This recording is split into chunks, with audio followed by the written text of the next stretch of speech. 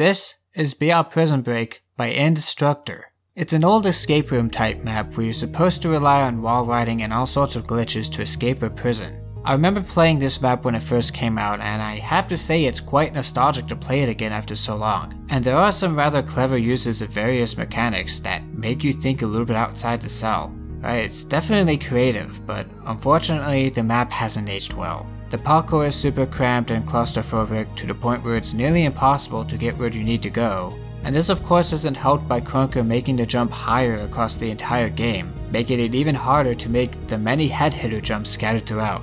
And that last level can kiss it. Okay, even with the new jumping, that level is still painful. It gets a 5 out of 10. It was certainly fresh for its time, but so is Milk.